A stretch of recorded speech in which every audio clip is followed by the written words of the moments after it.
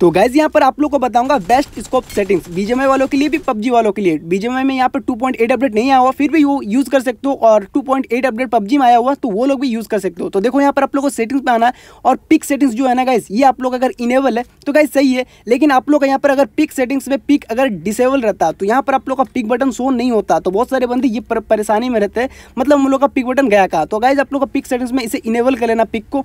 तो यहाँ पर हम लोग को देखने को मिल जाएगा आप लोग का पिक बटन तो देख लो यहाँ पर गाइज़ हम लोग का पिक बटन अभी शो हो रहा है। तो ये तो कॉमन सा चीज़ था, लेकिन जिसे नहीं पता, मैंने बता दिया। अभी चलो हम लोग आते हैं यहाँ पे टू फिंगर वालों के लिए क्या सेटिंग रखना चाहिए। तो गाइज़ यहाँ पर स्कोप सेटिंग्स को आप लोग टैप पे रखो, नीचे आप लोग पिक मोड को टैप पे रख दो, ठीक है?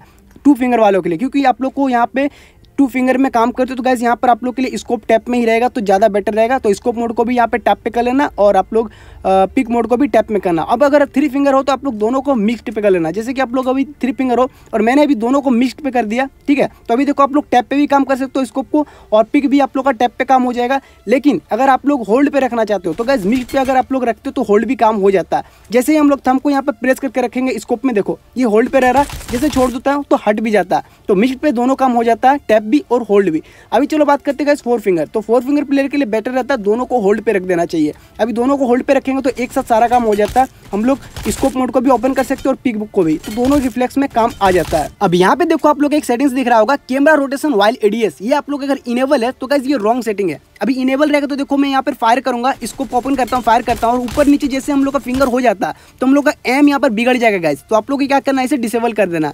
और अभी देखो हम लोग इसको ओपन किए और फायर किए तो अभी ऊपर नीचे कर रहा हूँ तो कुछ भी नहीं हो रहा। तो इससे हम लोग जायरो से कंट्रोल कर सकते हैं। अभी देखो, नीचे हम लोग को कैमरा रोटेशन वाइल लीनिंग हो रहा तो इसे आप लोग को इनेबल रखना अब इससे आप लोग रिकॉल भी कंट्रोल कर सकते हो एडीएस का आप लोग का काम हो जाएगा और आप लोग लेफ़्ट राइट भी मूव कर सकते हो। देखो ये चीज़।